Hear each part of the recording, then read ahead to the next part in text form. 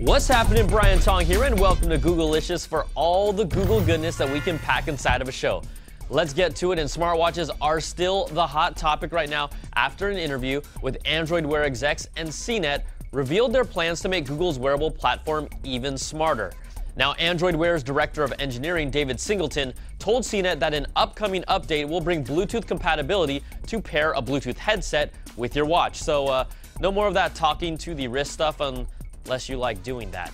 They're also going to be introducing GPS support for the platform for devices that include GPS hardware. An example to take advantage of this is if you're going for a run, you could leave your phone at home and let the smartwatch record your data and sync it back up with your phone after your run alone once you're home eating a scone. Now, a future release will also allow third parties to develop new watch faces and make them available for download at the Google Play Store.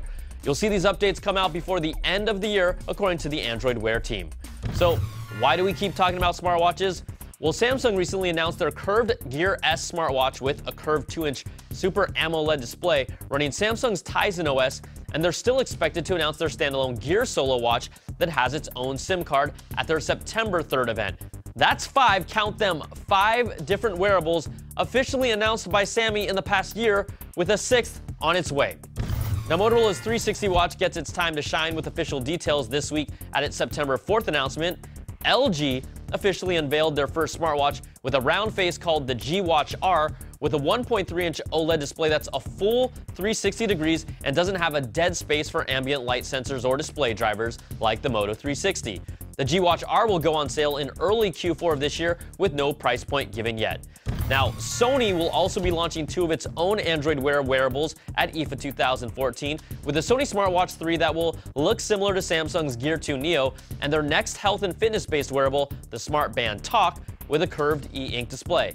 And don't forget about Asus. Their CEO already teased a sub 200 smartwatch called the Zen Watch running Android Wear with more details at IFA as well. So, yes, we will keep talking about wearables. All right, shifting gears over to drones, we know Amazon has lofty goals for using flying drones to deliver goods, but Google recently revealed they've been working on a delivery system of their own for the past two years called Project Wing. The team took out Project Wing for a test in Queensland, Australia, because it has more progressive laws when it comes to using drones.